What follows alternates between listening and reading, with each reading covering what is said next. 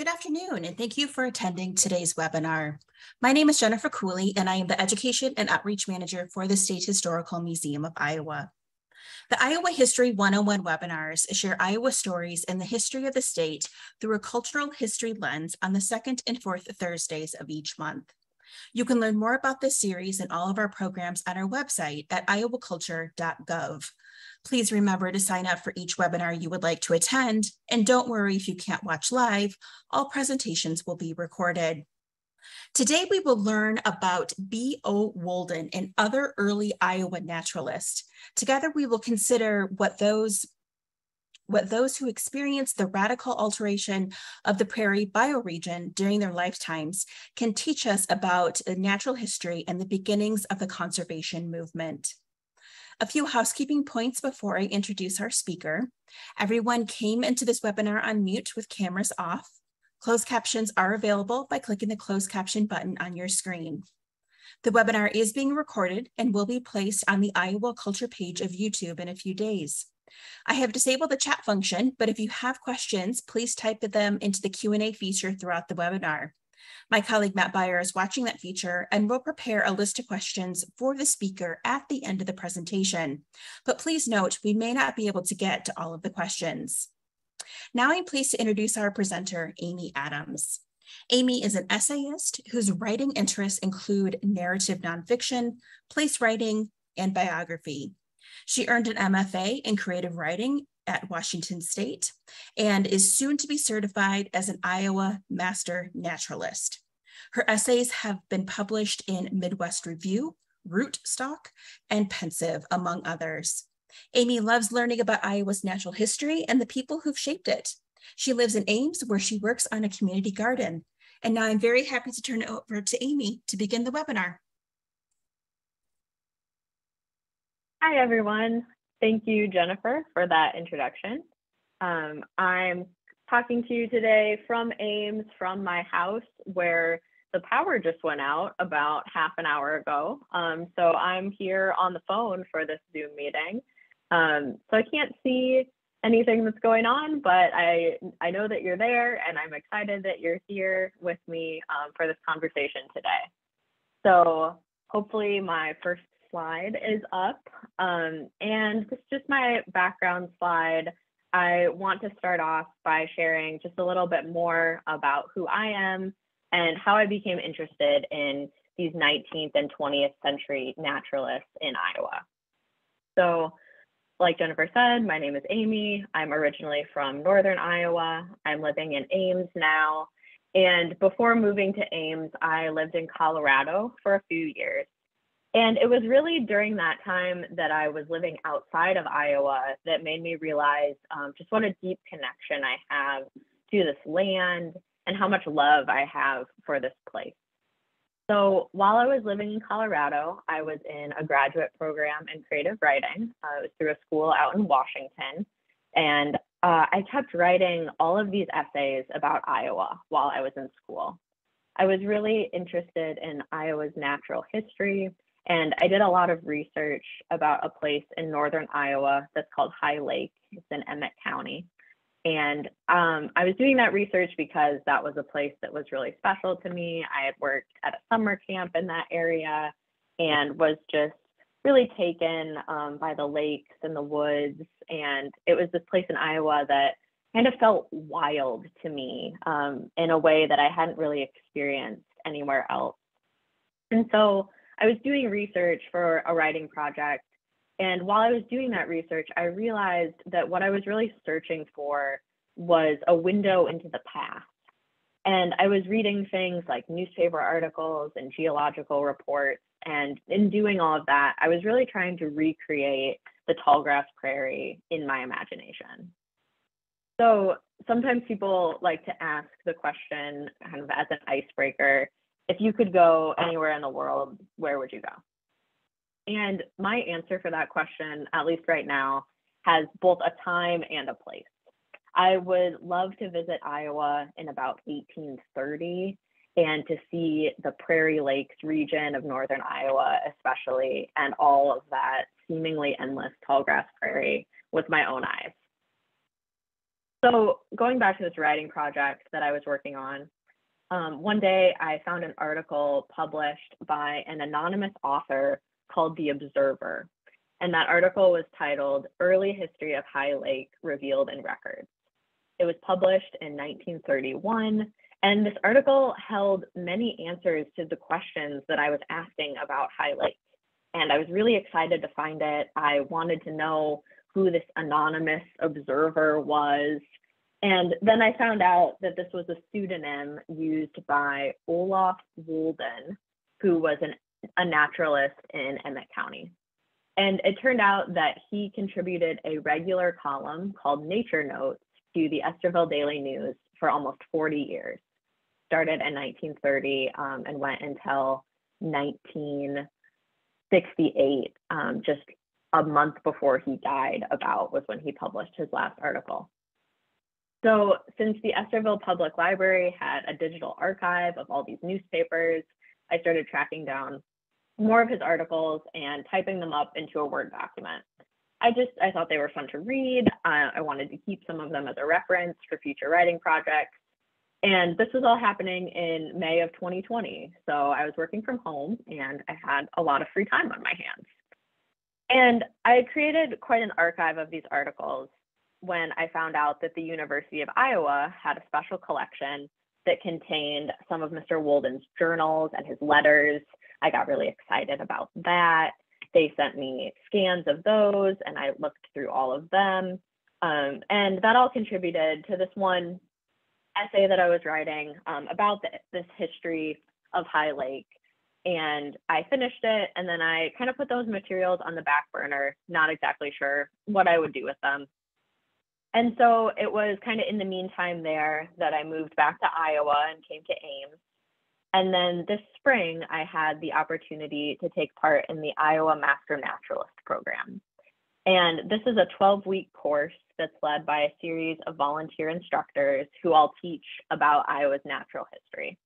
And I'll include um, a link to their website at the end of my presentation because they are a really wonderful resource for anyone who wants to learn more about Iowa's ecosystems and plants and wildlife.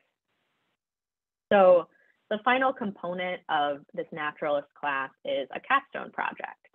And I decided that I wanted to write a short biography of Olaf Wolden and combine it with a selection of his newspaper articles. And I got permission from the newspaper to reprint a bunch of his articles. And so I'm working on compiling those along with this biography into a book that I'm calling The Observer, The Life and Writings of Bernt Olaf Wolden. So all of that finally brings us to what I will be talking about today. Today, I'm going to share an introduction to a few naturalists and botanists who lived and worked in Iowa during what I'm calling the Aldo Leopold era. Aldo Leopold lived from 1887 to 1948. And as we probably all know, his land ethic and his writings were some of the most important in shaping the modern environmental movement, especially in this country. And I think that this Aldo Leopold era and those two to three decades prior to it were an important and a pivotal time in Iowa's history. Famously, it was Aldo Leopold who said that the first wave of pioneers settled the land and the second wave studied it. So none of the people we're going to meet today had firsthand experience with a fully intact tall grass prairie biome but many experienced the prairie and the vanishing prairie in their early childhoods and teenage years. And all of them had elders in their communities who could vividly recall a time when the Iowa landscape looked vastly different than the one we have today. So, what I'm hoping is that we'll take some time to think about those childhood experiences and the stories that shaped the lives of these naturalists and scientists and I'm hoping that these brief introductions that I'm going to give you to a few people today will give you a glimpse into this time period in Iowa, the Iowa history that I think is really fascinating and maybe spark a desire in you to learn more. All right, So let's begin and go to our next slide. And on this slide, it's called What's Going On in Iowa. And let's just take a minute to look at these maps.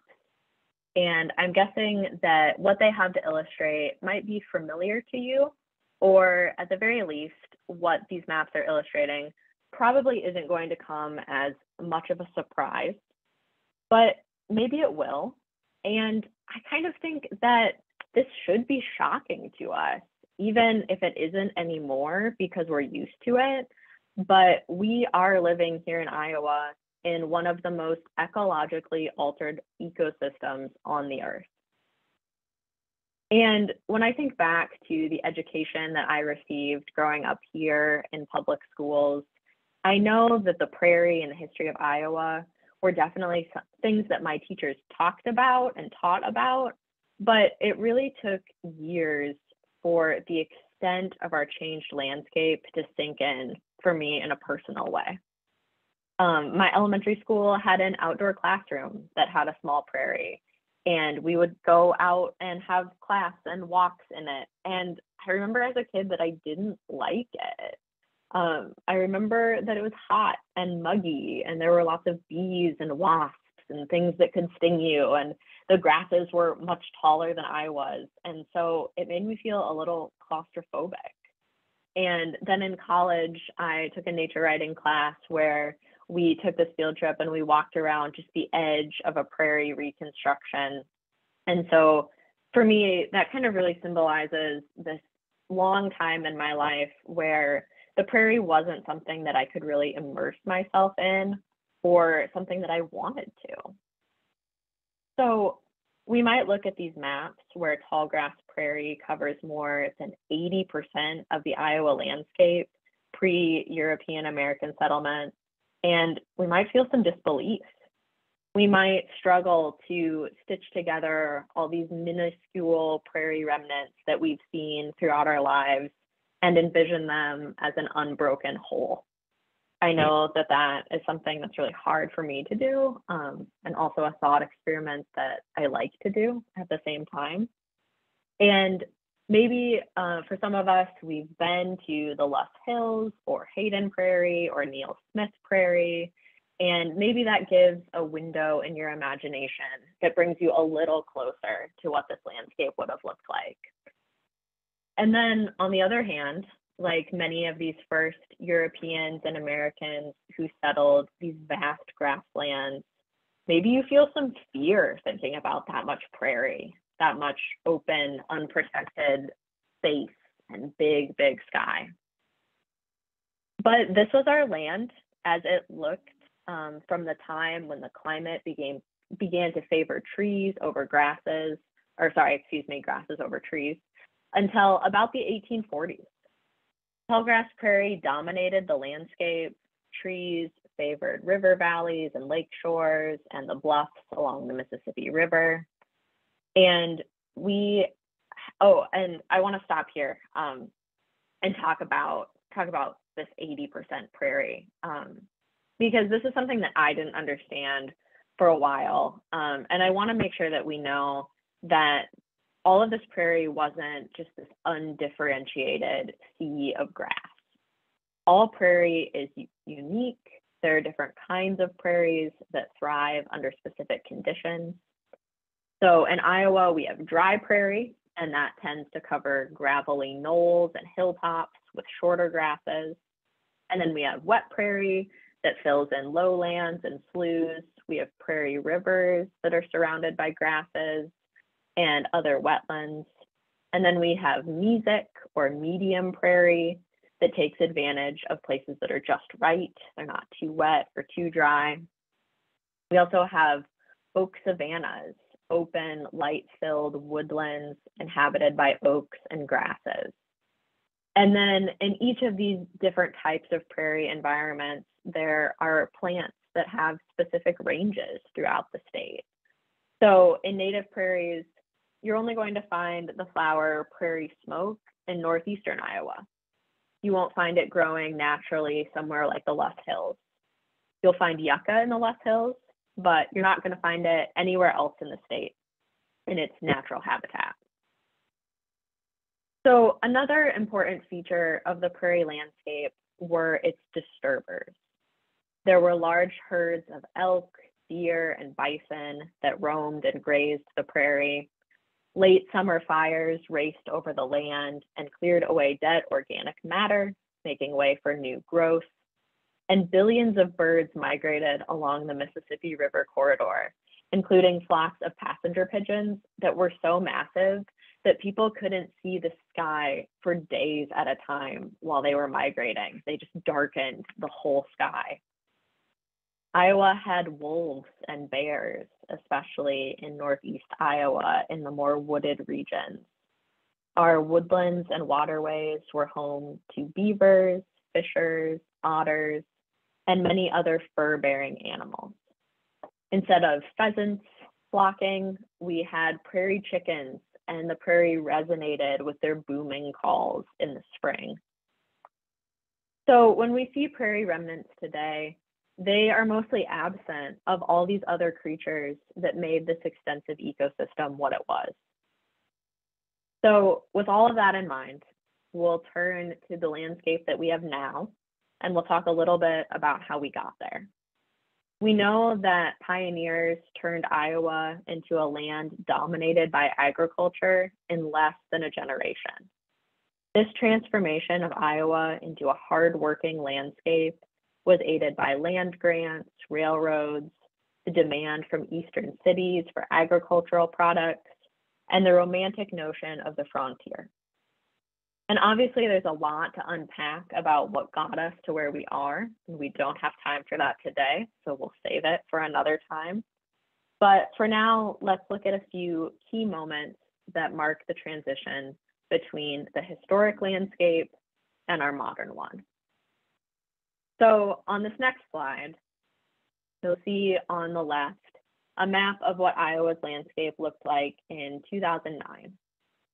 Notice that the gray is now corn and soybeans, and the yellow, which was prairie on the first map, is now grassland or pasture. And let's just sit with this for a minute. Um, look at the waterways, look at the forests, notice the orange areas of human habitation, and just take a minute to try to find where you live on this map.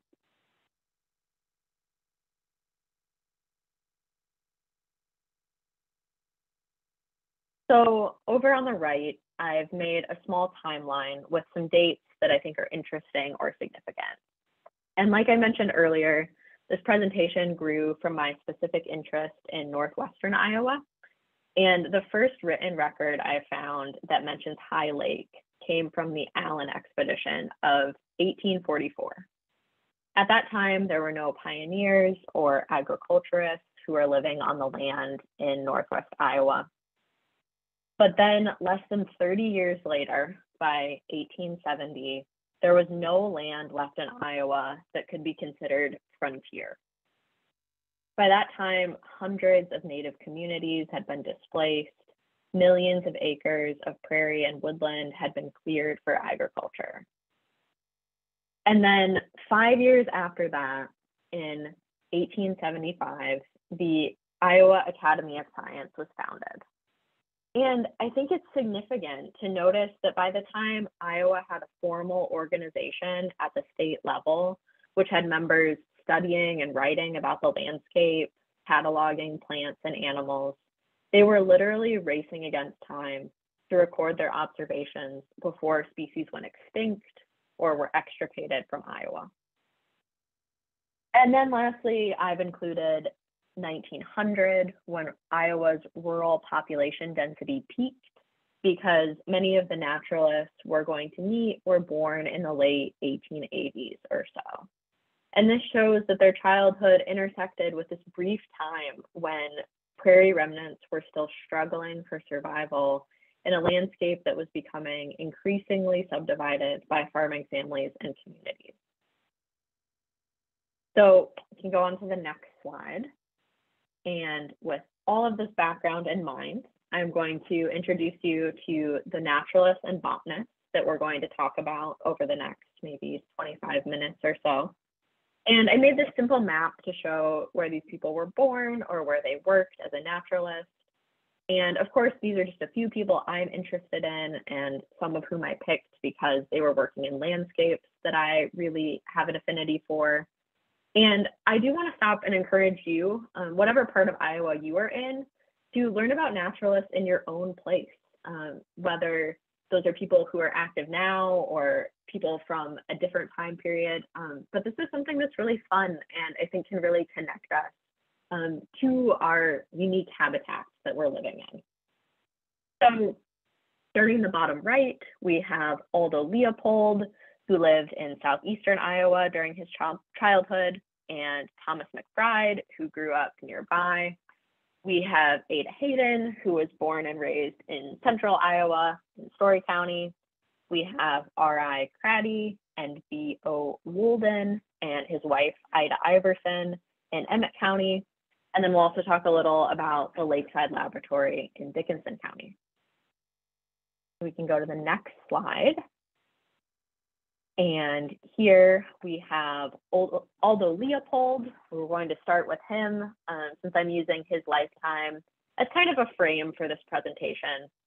And that's simply because I think he is more of a household name in conservation and the environmental movement. And so I thought he might ground us in that sense, um, especially for those of us for whom this might be a newer topic. So Aldo Leopold was born in 1887 in southeastern Iowa, and he died somewhat young, unfortunately, in Wisconsin when he was fighting a fire on a neighbor's farm. His seminal work, A Sand County Almanac, was published by his family the year after his death. And he was born in Burlington, Iowa, had much of his childhood and early education here. So we definitely get to claim him as an Iowan. Um, but much of his work was in the American Southwest and in Wisconsin. So among his many accomplishments, Aldo Leopold was an author, a naturalist, scientist, ecologist, forester, conservationist, and environmentalist. And throughout this presentation, we'll talk a little more about the difference between conservation and preservation, how those are defined and how they're practiced. But Aldo Leopold was born into a family that loved the outdoors. His father got him interested in woodcraft and hunting from a young age. And he also enjoyed exploring the bluffs along the Mississippi River by himself. He was a birder, and over time, he became more interested in nature observation than in hunting. He had his early schooling in Iowa, and then he went on to Yale to study forestry in a department that was funded by a forester who became known as a key leader in the conservation movement. And so it's important to know that conservation during this time period that's called the progressive era was sorry, um, it supported an efficient use of resources. So the conservation ethic was really focused on the living generation and their needs and it paid mind to the well-being of future generations but that was secondary. And this was really all focused on human communities. This was conservation that was focused on utility and use of resources for the benefit of humans. So things that were going on in the conservation movement were things like landscape engineering dams were being constructed, waterways were being made navigable, and that was all happening in the name of conservation.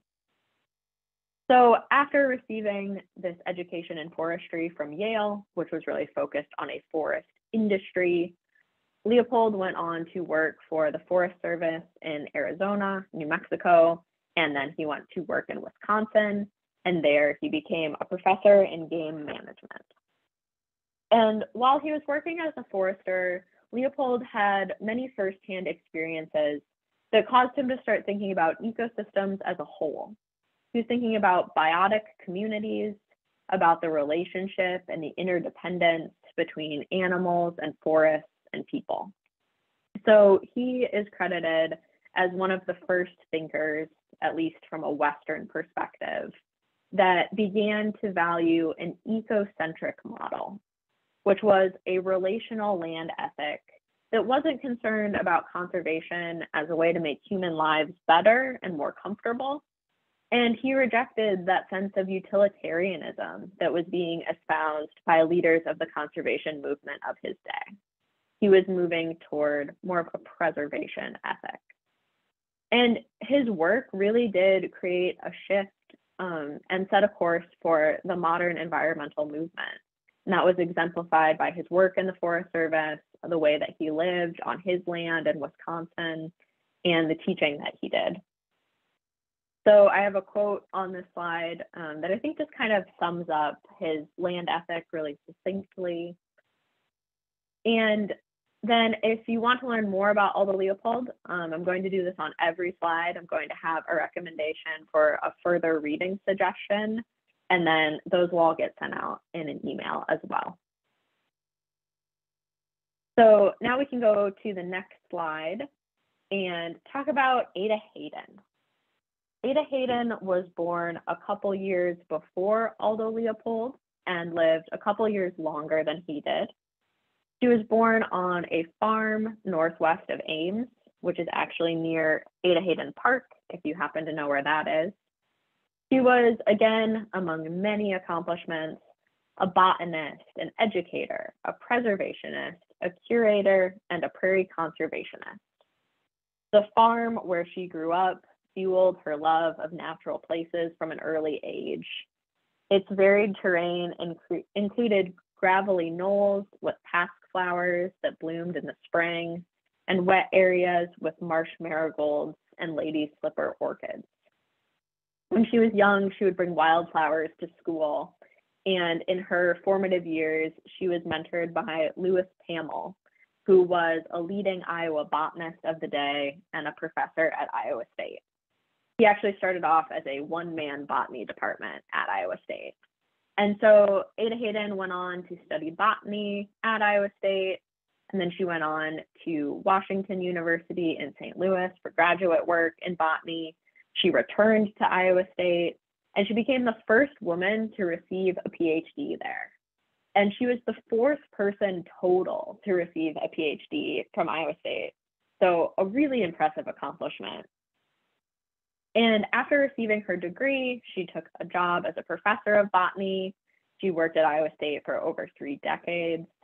And during that time, her career became focused on prairie conservation. She worked to save and preserve numerous prairie remnants throughout the state. And the largest intact prairie remnant outside the Loess Hills, a place that she studied, is named Hayden Prairie in her memory. During her career, Hayden conducted extensive field work documenting prairie species.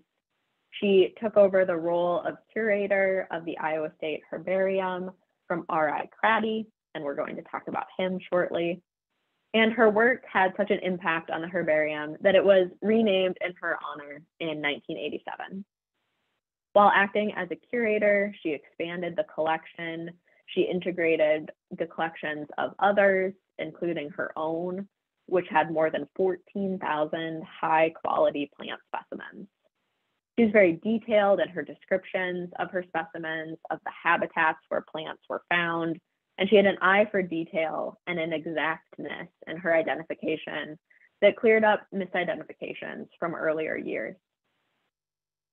So after her death, um, Hayden has really been remembered for this important legacy She's been honored in multiple ways. And just as we might credit Aldo Leopold for spurring a national shift in environmental consciousness, we undoubtedly have Ada Hayden to thank for pushing Iowans to appreciate and protect the endangered tallgrass prairie within our state. In 1919, she began calling for the establishment of prairie preserves, but it took years for her to gain support. She received $100 from the Iowa Academy of Science, and she used it to travel throughout the state studying prairie remnants. In the 1940s, Hayden brought detailed surveys of 22 prairie tracts in 10 counties before the Iowa Academy of Science with recommendations for their preservation. And these surveys included maps, geological, topographical, and floristic descriptions. They were accompanied by original pictures. And something that's really interesting about Hayden is that she took photographs, which were black and white, of the different places that she visited. And then she turned those into slides that she hand colored using over a dozen different colors of paint. She was also a very descriptive and poetic writer. And so to me, this is what makes Ada Hayden a really memorable naturalist. She was well educated, she was well versed in the scientific community, but she had an artistic and passionate side that enabled her to persuade scientists and to make connections with the public as well. And her love and enthusiasm for prairies certainly seems to be contagious. A quote of hers is The prairie flora is an inspiration and most prized when it's gone forever. And although the titles of conservationist and preservationist are used somewhat interchangeably to describe her work, it's clear that Hayden's concern was ensuring that the prairie community would survive. Her mentor, Louis Pammel, was influential in the creation of the Iowa State Park System, which was really focused on woodland environments for the time at that time. And the state parks, as we know, are there for the good of the whole biotic community and also for the enjoyment of people. They embody what we might describe as a more conservationist approach. The state parks have paved roads, they have campgrounds, hiking trails, and infrastructure that's in place to provide an efficient means for humans to interact with the environment. State preserves, however, exist primarily as refuges for plants and animals who inhabit them rather than for human use. Many are intentionally underdeveloped as to remain undisturbed. Camping is not permitted in state preserves. And humans are absolutely welcome to visit and to explore, but we're asked to leave a lighter trace when we're in these places. And so I do want to acknowledge that neither of these, conservation or preservation, is a perfect land ethic. Both have pros and cons. They're definitely not mutually exclusive. They're often used together. And we should remember too that these pockets of preservation don't return us to that pre-settlement landscape that we talked about in the beginning. Those vital disturbers, the grazing animals, the fires, the native people that have been displaced from this landscape are the, this, those things mean that these state preserves, um, they're not the places that they once were, and they're not places that could be if we imagined a different kind of land ethic. Um, they're places that hold a lot of possibility. But Ada Hayden's advocacy for preservation was absolutely crucial to the development of our state preserve board, for the protection of our state preserves, which include many prairies and many different kinds of prairies, um, like sand prairies, and they're very special places. So if you want to learn more about Ada Hayden, there's a really wonderful video presentation that's available on YouTube that was given by the current director of the Ada Hayden Herbarium, Deb Lewis. Um, I'll include a link to that as well. So now we're going to move on to a lesser known naturalist on the next slide, but I think he's pretty cool. Oh, I forgot. Um, we have a little video. Um, sorry, that's what happens when I can't see my slides. Um, so there's a little video um, from Hayden Prairie, um, just of some of the flowers that were out there. Um, it's a video from the Iowa Prairie Girl. Um, so we can watch that little clip quick. Pulpit. So stay tuned for my next videos. This is Iowa Prairie Girl from Ada Hayden Prairie.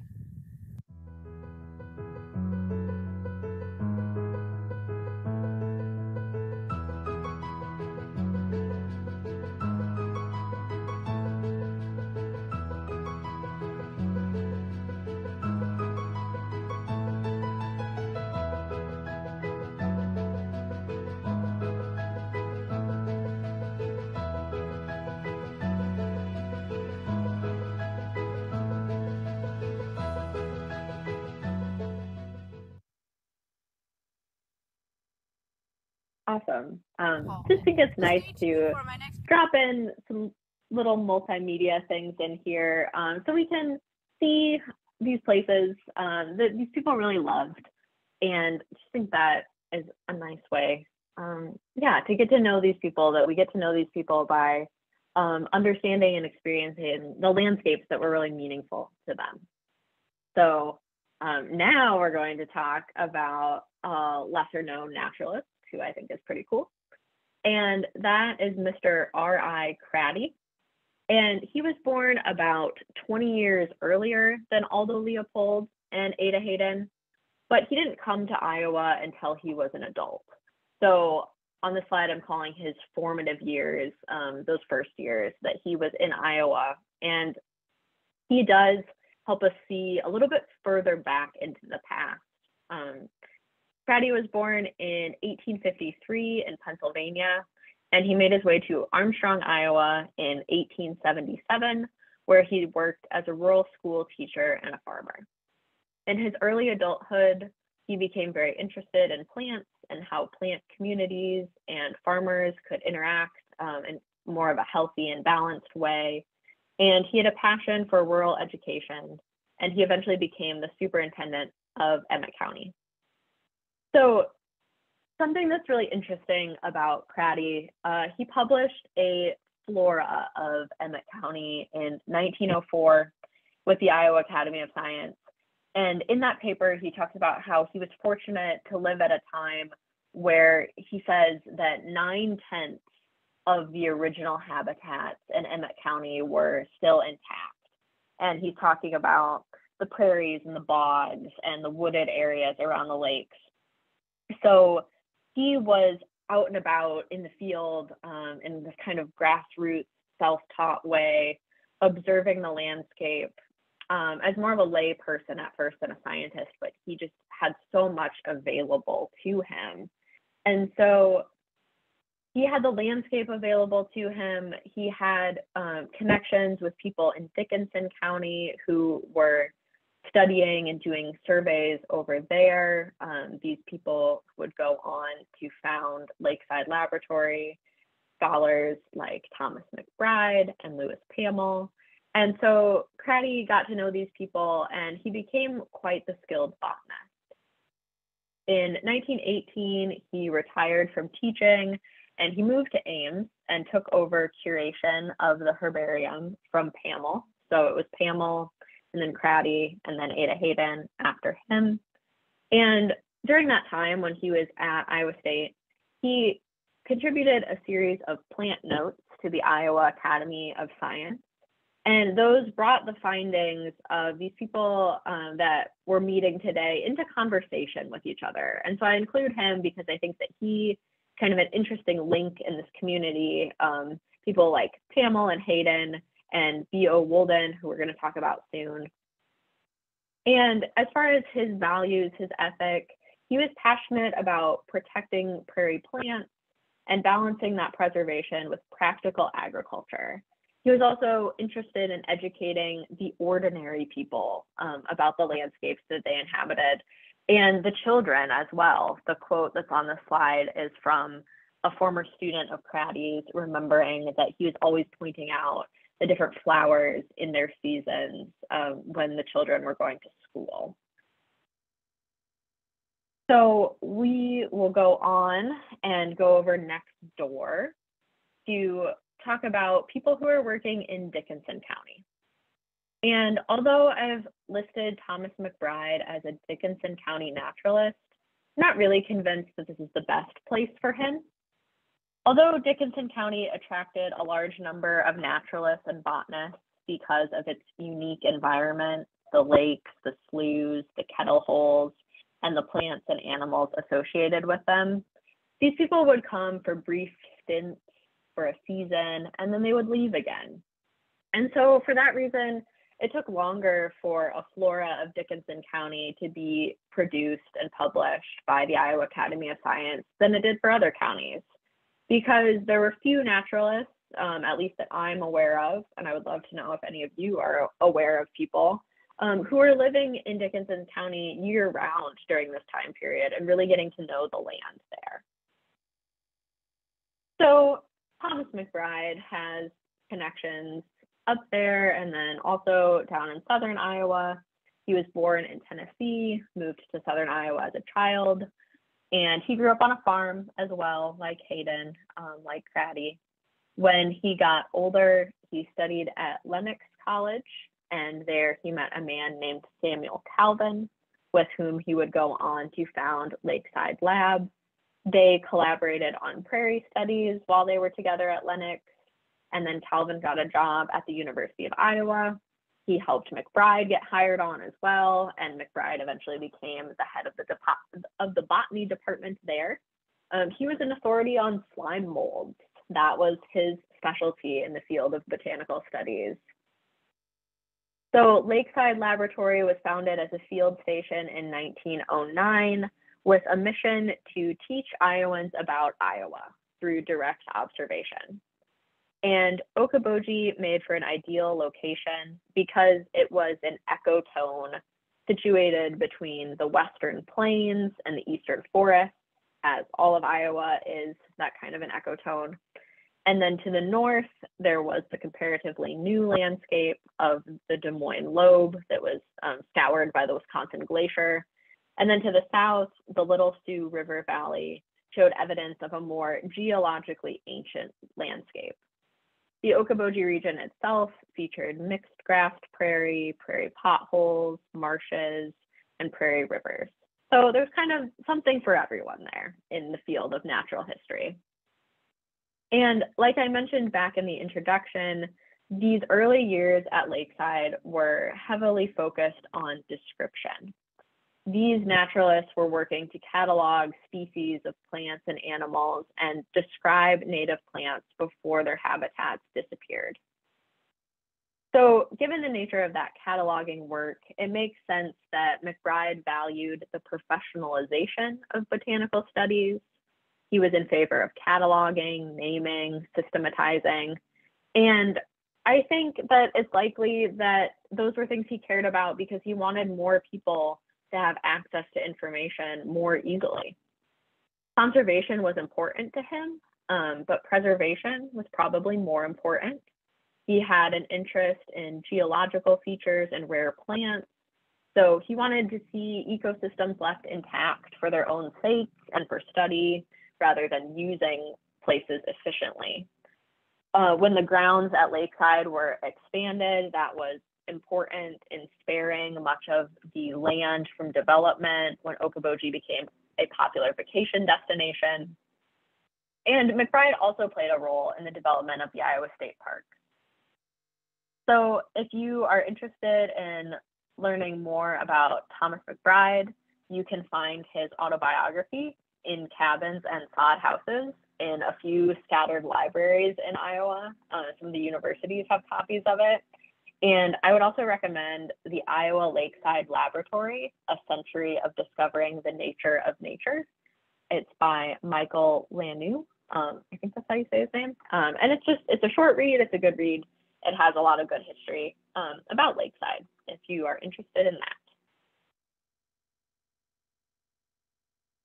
So I do have another little video clip here. Um, maybe just watch like the first 30 seconds of it or so. Um, just want to show you a little flyover of Lakeside Lab.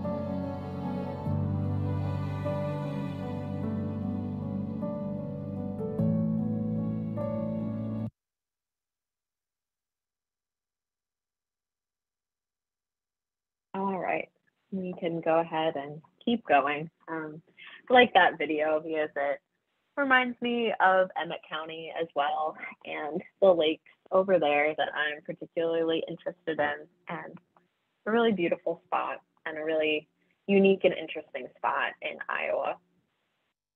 So we're going to go to the next slide and um, hop back over to Emmet County. And these are the folks I could talk about the longest, and that's why I've saved them for last so I don't go overboard. Olaf Wolden was born at High Lake in Emmet County in 1886 and grew up exploring its varied landscape. Like Cratty had stated in his 1904 paper, the 1870s through the 1890s were a time when a surprising amount of native landscape remained in Emmet County compared to other places in the state. So a young Olaf was able to observe a wide variety of plant and animal life on his walks to and from school, to the rural school that he attended, and on weekend hikes with his siblings in the woods. Mr. Wolden attended a rural school at High Lake through eighth grade and then continued his education in natural history and botany by reading the work of other Iowa naturalists and studying his older brother's college textbooks. He met Cratty um, in kind of his adolescence, young adulthood, and they had a friendship that lasted throughout the years. They collaborated, they wrote each other letters um, and stayed in touch about happenings in Emmet County. And unlike other people that we have discussed so far, Olaf never attended or worked for a university. His career was as a farmer and a rural mail carrier. And so both of those jobs allowed him direct access to the natural world in all seasons, and his travels gave him a wide understanding of Emmet County because of his proximity to Lakeside, Olaf was able to work with many noted botanists of the day, including the bryologist, Dr. Henry Conard. And the two authored a paper on the mosses of Dickinson County that was based largely on Mr. Wolden's fieldwork. So he had a special interest in mosses and plants. Um, we're definitely leaning into naturalists who had an affinity for plants um, because I like plants. Uh, but Olaf Wolden is maybe the most diverse of the naturalists that we've looked at so far. Um, really knew a little bit about a lot of things. And that is most evident in his prolific writing. So he published um, about half a dozen scientific papers and he authored his own Flora of Emmet County in 1932 and revised it in 1956. But his lasting work was not in academia, but in educating the public. Mr. Wolden contributed a nature column to the Estherville newspaper for almost 40 years, in which he wrote small essays about all kinds of plants, birds, animals, and nature observations in the county. Uh, he tracked the weather and the seasons, and birds and plants definitely showed up the most throughout his articles. Throughout his life, he valued the preservation of wild plants and wild places. He valued observation and attention to the natural world and sharing his appreciation for the many varied wonders of nature with others. This was a vocation that Olaf shared with his wife, Ida Iverson. Ida was born in Grinnell in 1896 to a farming family, and they loved to grow flowers. Um, she was educated in rural schools. She studied at Grinnell College. From there, she went to the University of Iowa. She studied biology and botany. And then she began a career teaching biology at the high school and the junior college level. She also worked as a rural school teacher after marrying Olaf and moving to Emmet County. Ida authored a book called Our Friends of the Trees. Um, she gave talks about her work. She led hikes for Girl Scouts and civic organizations. She spoke on radio programs. she had a very social approach to her education and work as a naturalist. Um, Ida was an avid birder and a member of the Iowa Ornithologists Union. And like her husband, she also valued access to nature education for all people and all ages. And so um, for further reading about the Woldens, um, like I said, I have this book that I'm working on and uh, it's going to be available soon, um, maybe by the end of this year, for sure by the spring. And um, proceeds from that book are going to go to the Nature Center in Emmet County um, to support access to nature education for all people um, in memory of these Emmet County residents who really valued that. So we can go on to the next slide. And this is bringing us to an end to this introduction to some of Iowa's naturalists. And I hope this presentation taught you something new, that maybe it sparked your curiosity either to learn more about some of these folks or naturalists in your own area. And I hope you'll take a bit of that naturalist imagination out into the world to explore your place and to get to know the biotic community that you are a part of. We are the people who have inherited the work that these naturalists devoted much of their lives to.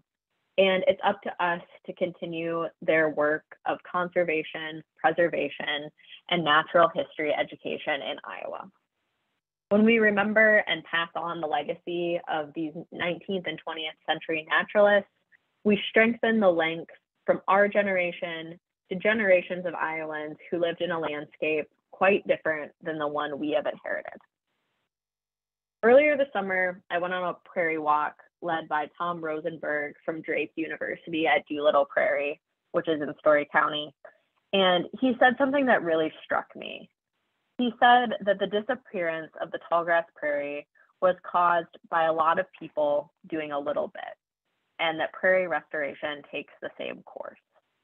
We need a lot of people to do a little bit to restore and rehabilitate this vast and beautiful ecosystem. So your little bit might be planting native plants in your yard or garden, maybe to fund a grant or join an organization or advocate for the environment in any other creative way. But I do hope that these naturalists might inspire you to do your little bit, whatever it is. So um, here is just a rundown of some places that you can go um, for more information. Again, this will be sent out in an email, um, so I won't dwell on it for too long. But Iowa Master Naturalist Program, a really great way to build a knowledge base of Iowa's natural history. Um, other natural history, national natural heritage organizations, um, the Iowa Nat Natural Heritage Foundation, the Iowa Native Plant Society, the Iowa chapter of the Nature Conservancy. Um, if you are interested in looking at proceedings of the Iowa Academy of Science, you can find those available online through the University of Northern Iowa. Um, my website is on here with information um, about the book. Will be on there soon, not yet, but it's coming. Um, so thank you so much for listening to me and I would love to open up the rest of our time um, for a few questions. Of course. Well, thank you, Amie. We have a little bit of time for some questions. If you have a question, though, please put it in the Q&A feature here on Zoom. Um, but please note, we are short on time today, so we may not be able to get to all of them. But let's dig right in. Um, our first question, um, in your research, what skills or characteristics did you find were common in early conservationists? Um, I think something that came up a lot and something that is talked about in that book that I mentioned about the early history of the Lakeside Lab was um, so much inquisitiveness, um, so much curiosity, uh, a desire for firsthand experiences to really go out and see things in the world um, for yourself. And something that I think was so exciting um, about this time period, or kind of makes me almost wish I lived in this time period, is that so much was new, um, especially in the field of botany, that you could get in and be involved just because you thought something was cool, um, no matter how much formal education you had. So thinking about Olaf Wolden and his work with mosses, um, he was in this moss society and he was one of the first hundred people to join it.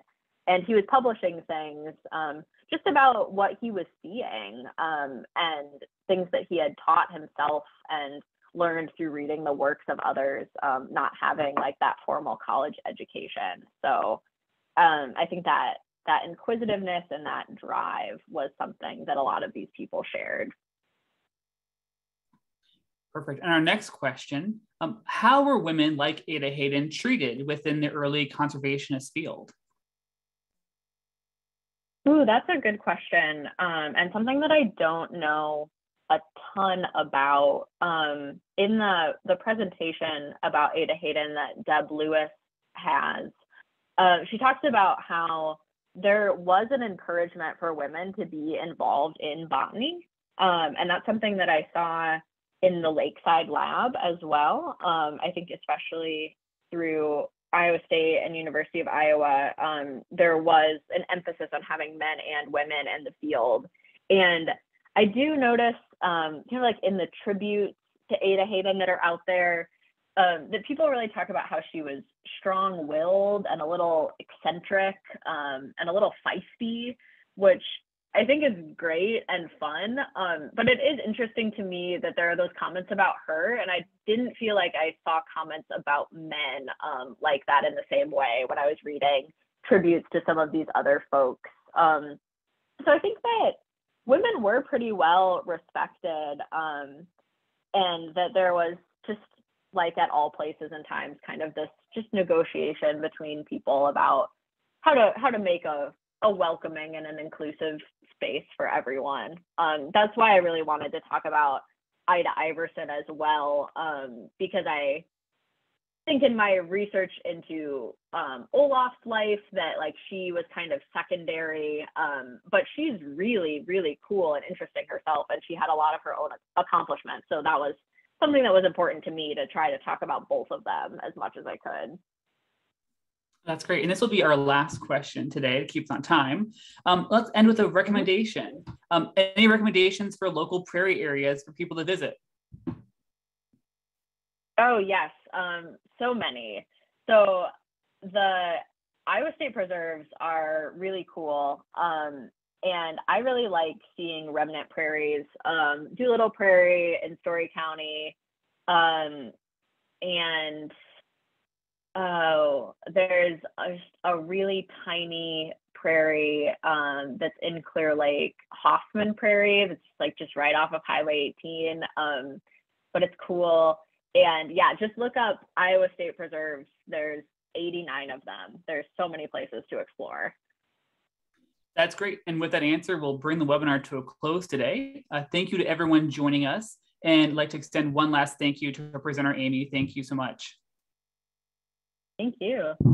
We hope everyone will sign up for the Iowa History 101 webinars that take place on the second and fourth Thursdays throughout the year. There are many great stories from Iowa's past to tell in the upcoming months. Now, for more information and to register for future webinars in this series, please check out our website at iowaculture.gov.